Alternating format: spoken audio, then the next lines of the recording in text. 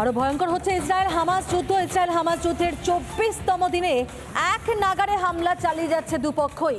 কেউই এক ইঞ্চ জমি ছাড়তে নারাজ। রবিবারই লেবানন থেকে রকেট হামলার পর সতর্ক ইসরায়েল সেনাবাহিনী। লেবানন সীমান্ত থেকে স্থানীয়দের নিরাপদ স্থানে সেখানে সরিয়ে নিয়েছে ইসরায়েল প্রশাসন। আর এখনও গাজা সীমান্তের ধুলো উড়িয়ে এগিয়ে যাচ্ছে সাঁজোয়া গাড়ি। আর যা থেকে পরিষ্কার, দেখতে পাচ্ছেন সেই ছবি, সাঁজোয়া গাড়ি, একের পর এক সাঁজোয়া গাড়ি এবং যা থেকে একেবারে পরিষ্কার যে যুদ্ধ এখনও চলবে। যুদ্ধের দ্বিতীয় পর্ব ইতিমধ্যে শুরু এবং আরও গোলা বর্ষণ আরও গোলাগুলি শব্দ। হামাসে ঘুম উড়িয়ে ঘোষণা করেছেন ইসরায়েল প্রধানমন্ত্রী বেঞ্জামিন নেতানিয়াহু। তিনি বলছেন যে যুদ্ধ এখনও চলছে এবং যুদ্ধের দ্বিতীয় পর্ব শুরু। শত্রু হামাসকে বিনাশ করতে হামলা চলছে, জানিয়েছে ইসরায়েল।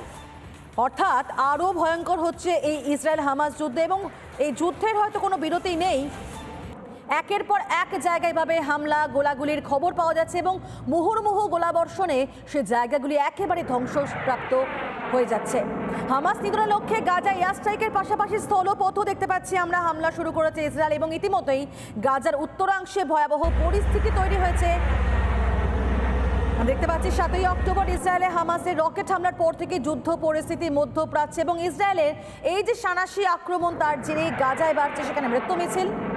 গাজা কর্তৃপক্ষের তরফে সেখানে কিন্তু জানানো হচ্ছে যে ইসরায়েলি হানায় গাজাতে বহু মানুষের মৃত্যু হয়েছে। যার মধ্যে শিশু রয়েছে, মহিলা রয়েছে, বয়স্ক রয়েছে, কারণ যুদ্ধে কাউকে হয়তো কোনো কিছুভাবে রেয়াত করা হচ্ছে না। আর অন্যদিকে হামাসের হানায় অন্তত চোদ্দশো ইসরায়েলির মৃত্যু হয়েছে বলে জানা যাচ্ছে। চব্বিশতম দিন, আর সেখানে যুদ্ধে এতটুকু বিরতি নেবার কোনো রকম লক্ষণ দেখতে পাওয়া যাচ্ছে না, এবং সেখানেই বলছেন যে এই যুদ্ধ আরও চলবে। স্থলপথে হামলা শুরু করেছে ইসরায়েলি সেনাবাহিনী।